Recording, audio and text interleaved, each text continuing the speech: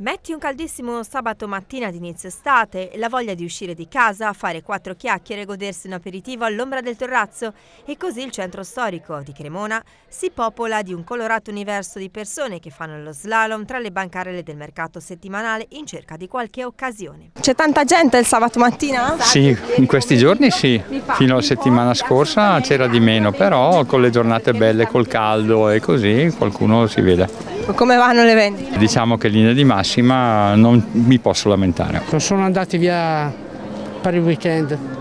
Cosa si fa il sabato mattina qui in centro? Un po' di spese e poco più.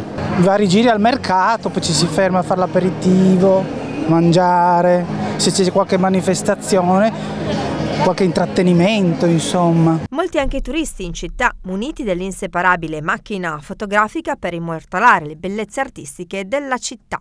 Sempre sabato mattina vediamo molte persone, venire qui anche turisti da tutto il mondo, molta affluenza qui. Eh, oltre al mercato ci sono beh, tutti i bar aperti, sempre molta, molte persone, molta vita, che ovviamente non si trova tutte le mattine. C'è stato un bel movimento, sì sì, col mercato c'è sempre una bella affluenza di gente. Ok, anche tanti stranieri?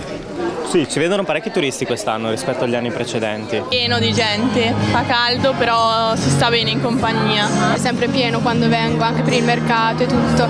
Sempre pieno di gente, è sempre piacevole il sabato secondo me. Perché qui questo sabato mattina? Per um, turisti far vedere le bellezze italiane. A chi? Ai miei cugini dell'Inghilterra, anzi dei, del Galles. È un posto molto carino, ci piace molto, la piazza è bellissima, siamo stati al Museo Stradivari, molto interessante. Le belle giornate sono anche di ispirazione per sosseggiare un drink seduti ai tavolini del bar. Where are you from? From Switzerland. Veniamo dalla Svizzera, Cremona è bellissima, abbiamo visitato il comune, il mercato e il centro storico. And the old town.